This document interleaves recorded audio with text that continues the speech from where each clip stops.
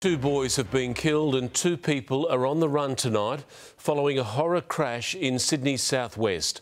A Ford Falcon was sheared in half when the driver lost control in Ashcroft this morning. But it was what happened next that left senior police officers stunned.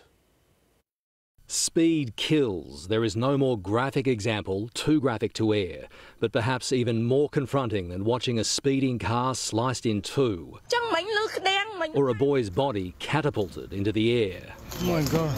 No. Is what happens next. They come out straight away, I go, oh my God. A trail bike rider following the car observes one body, then goes to check on the driver and passenger who survived as one of them emerges from the wreckage.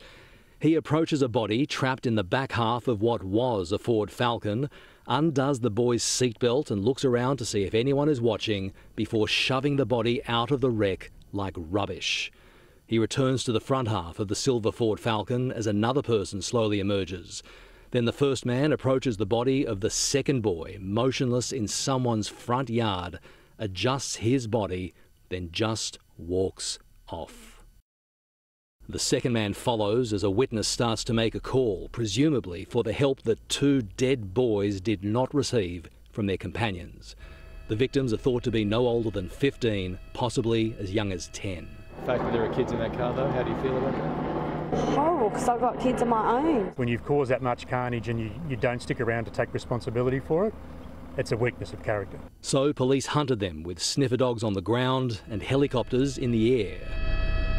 PolAir broadcast on speaker across the suburb that they were searching for a man in a black and yellow top. We will find them. They just need to present themselves to a police station. Here are their faces. The Crime Stoppers number is 1 800 333 000. As police visited the home to which the Ford Falcon is registered, locals watched in shock as the crime scene expanded and the bodies were taken away. I've been living here since 1962. I've never seen nothing like it. And for some who came here to see for themselves, it was overwhelming.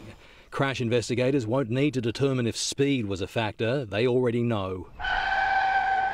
But skid tests late today will help determine how fast, and forensic examination of the car and steering wheel might show how it lost control and who was driving. Two families um, are now going to be experiencing the absolute heartache it is to have some lives taken from them, which are clearly avoidable. We, we have uh, known the names of the two teenage boys for a while now, but not all family had been informed. I was told just a couple of minutes ago that the family has been told. Now we can release those names.